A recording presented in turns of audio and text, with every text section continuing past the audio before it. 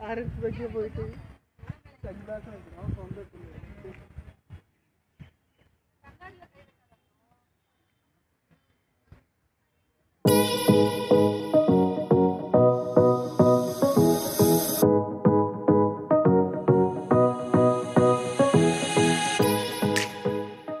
Hi hello ನಮಸ್ಕಾರ ಗೆಳೆಯರೆ ನಿಮಗೆ ಇನ್ನೊಂದು ಹೊಸ ವಿಡಿಯೋದೊಂದಿಗೆ ನಿಮ್ಮ ಎದುರಿಗೆ ಬಂದಿದ್ದೀನಿ ಇವತ್ತು ಬೆಂಗಳೂರಿನ ಇನ್ನೊಂದು ವಿಶೇಷ ಸ್ಥಳವನ್ನು ನಿಮಗೆ ತೋರಿಸೋಣ ಅಂತ ಅಂದ್ಕೊಂಡಿದ್ದೀನಿ ಇದು ಒಂದು ಐತಿಹಾಸಿಕ ಸ್ಥಳ.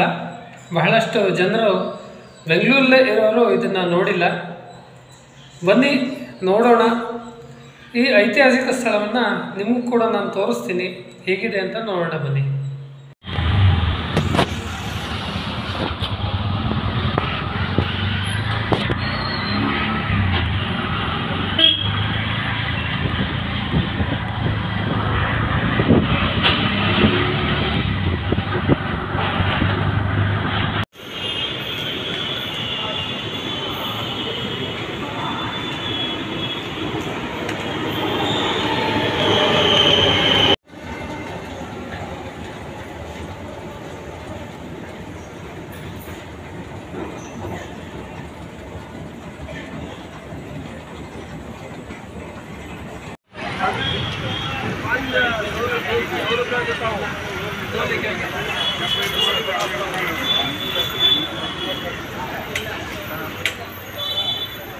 我。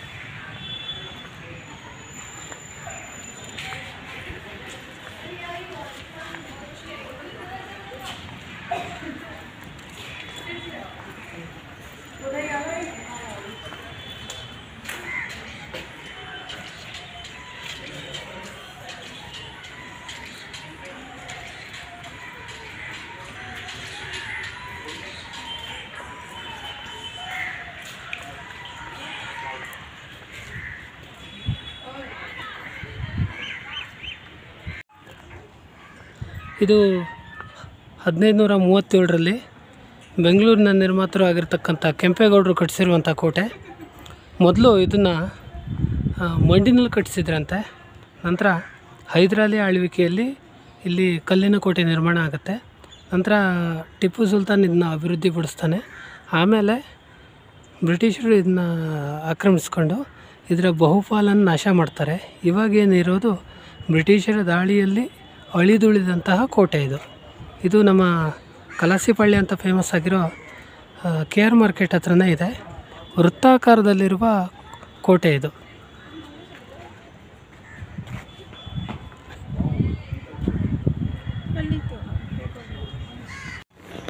ಇದು ನೋಡಿ, ಇದು ಕೋಟೆಯ ಒಳಭಾಗದಲ್ಲಿರೋ ದೃಶ್ಯ ಇದು. ಒಳಗಡೆ ಇಲ್ಲಿ ಹೋಗ್ಲಿಕ್ಕಾಗದೇ ಇರೋ ಹಾಗೆ ಕಬ್ಬಿಣದ ಬೇಲಿಯನ್ನು ಹಾಕಿದ್ದಾರೆ. ಇದು ಒಂಥರ ಅದೃಶ್ಯ ಕೋಣೆಗಳಂತ ಕರಿಬೋದನ್ನು ಇಲ್ಲೂ ಕೂಡ ಒಂದಷ್ಟು ಪ್ರೇಮಿಗಳು ನೋಡಿ ಇಲ್ಲಿ ಗೋಡೆಯ ಮೇಲೆ ಹೇಗೆ ಕೆತ್ತಿದ್ದಾರೆ ಅದು ಕಾಣುತ್ತೆ. ಇಲ್ಲೊಂದು ಬೃಹತ್ ಬಾಗಿಲು ಇದೆ.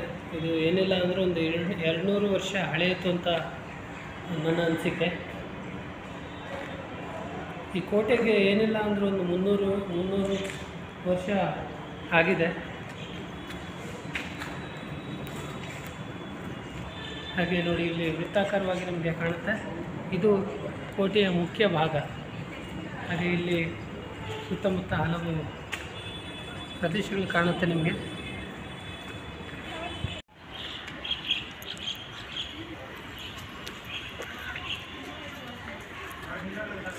ಈ ಕೋಟೆಯ ಬಗ್ಗೆ ನಮ್ಮ ನಾಡಿನ ಹೆಮ್ಮೆಯ ವ್ಯಕ್ತಿಯಾಗಿರ್ತಕ್ಕಂತಹ ಅರೆನಹಳ್ಳಿ ಶಿವಶಂಕರ್ ಅವರು ತುಂಬ ಚೆನ್ನಾಗಿ ವಿಶ್ಲೇಷಣೆ ಮಾಡಿದ್ದಾರೆ.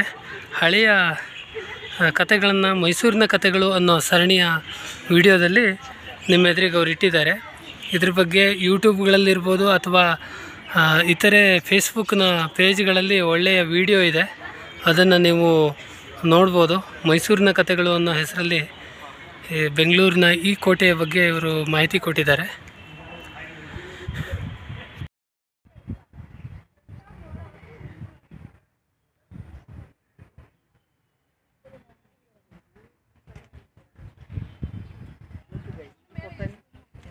ആരും വെച്ച് പോയിട്ട് ചെങ്കാശം വെക്കണം സ്വന്തം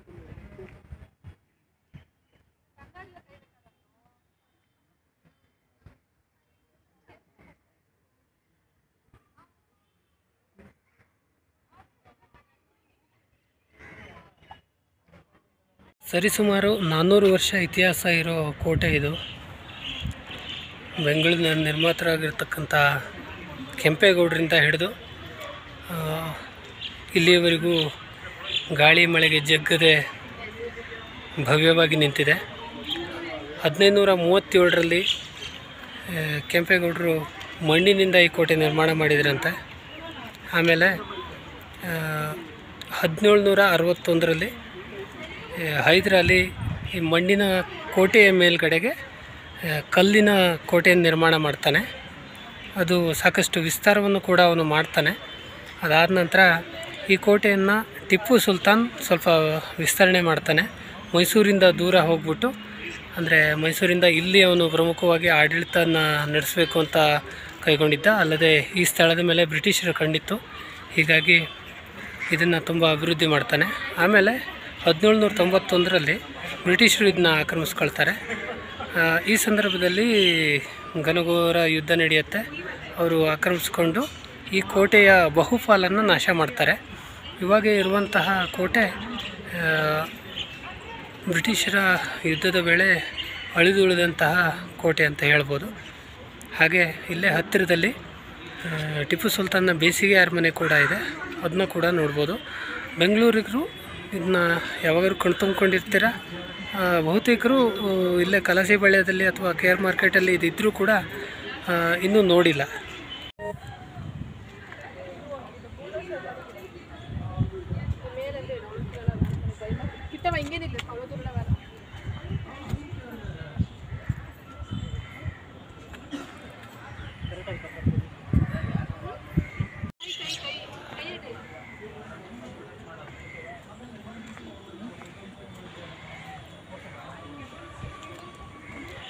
ಇಲ್ಲಿ ಇರುವಂತಹ ದ್ವಾರಕ್ಕೆ ದಿಲ್ಲಿ ಗೇಟ್ ಅಂತ ಕರೀತಾರಂತೆ. ನಾವಿವಾಗ ಒಳಗಡೆ ಬಂದಿದ್ದು ದಿಲ್ಲಿ ಗೇಟ್ ಮೂಲಕ. ಹಾಗೆ ಉಳಿದ ಎಲ್ಲ ದ್ವಾರಗಳನ್ನು ಬಹುತೇಕ ಬಂದ್ ಮಾಡಿ ಇಡಲಾಗಿದೆ. ವೃತ್ತಾಕಾರದಲ್ಲಿ ಇರುವಂತಹ ಅಪರೂಪದ ಕೋಟೆಗಳು ಇದು ಒಂದು.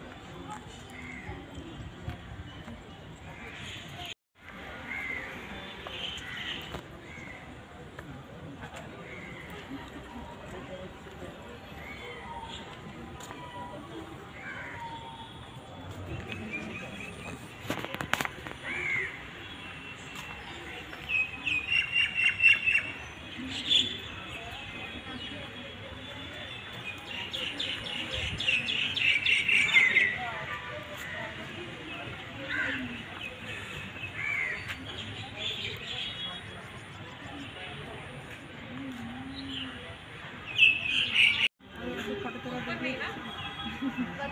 क्या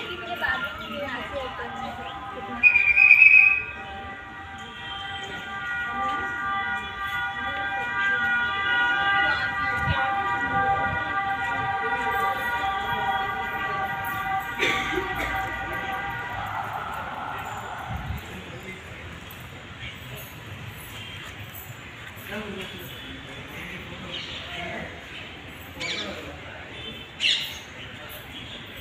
ಇಲ್ಲಿ ವಿಶೇಷವಾದ ಕೆತ್ತನೆಗಳು ನೀವು ಕಾಣ್ಬೋದು ಇಲ್ಲೊಂದು ಆನೆ ಇದೆ. ಹಾಗೆ ಇದೊಂದು ನೃತ್ಯ ಮಾಡ್ತಿರುವಂಥ ಭಂಗಿ ಇದೆ. ಇಲ್ಲಿ ನವಿಲು ಕಾಣ್ಬೋದು ಅದೇ ರೀತಿ ಪಕ್ಷಿಗಳು, ಆನೆ, ಹೀಗೆ ವಿವಿಧ ರೀತಿಯ ಕೆತ್ತನೆಗಳು ನೋಡಿ ಇಲ್ಲಿ. ಅದೇ ರೀತಿ ಈ ದ್ವಾರದಲ್ಲಿ ಕೂಡ ಕೆತ್ತನೆಗಳನ್ನು ನೀವು ಕಾಣ್ಬೋದು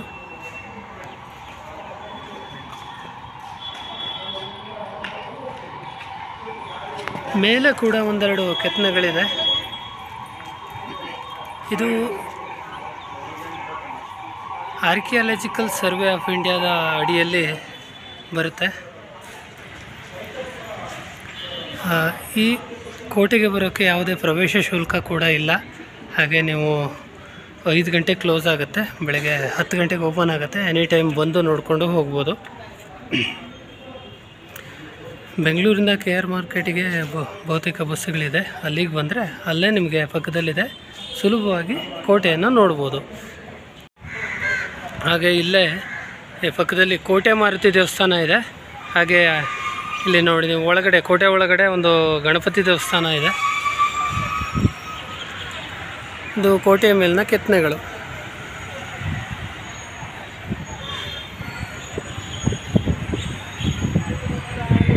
ಇದಾಗಿತ್ತು ಬೆಂಗಳೂರು ಕೋಟೆ ಕುರಿತು ಒಂದು ಕಿರು ವಿಡಿಯೋ. ನಿಮಗೆ ಇದು ಇಷ್ಟ ಆಗಿದರೆ ನೀವು ಎಂದಂತೆ ಲೈಕ್ ಒತ್ತಿ, ಹಾಗೆ ನನ್ನ ಚಾನಲ್ ಸಬ್ಸ್ಕ್ರೈಬ್ ಮಾಡೋಕ್ಕೆ ಮರಿಬೇಡಿ. ನೀವು ಸಬ್ಸ್ಕ್ರೈಬ್ ಮಾಡಿದರೆ ನಾನು ಹಾಕುವಂತಹ ವೀಡಿಯೋಗಳು ಸುಲಭವಾಗಿ ನಿಮಗೆ ಸಿಗುತ್ತೆ. ಅದೇ ರೀತಿ ನಾನು ಇನ್ನಷ್ಟು ಆಕರ್ಷಕ ವೀಡಿಯೋಗಳನ್ನ ಕೊಡಲಿಕ್ಕೆ ಕೂಡ ನನಗೆ ಪ್ರೋತ್ಸಾಹ ನೀಡಿದಂಗೆ ಆಗುತ್ತೆ ಥ್ಯಾಂಕ್ ಯು, ಧನ್ಯವಾದ, ಬಾಯ್ ಬಾಯ್.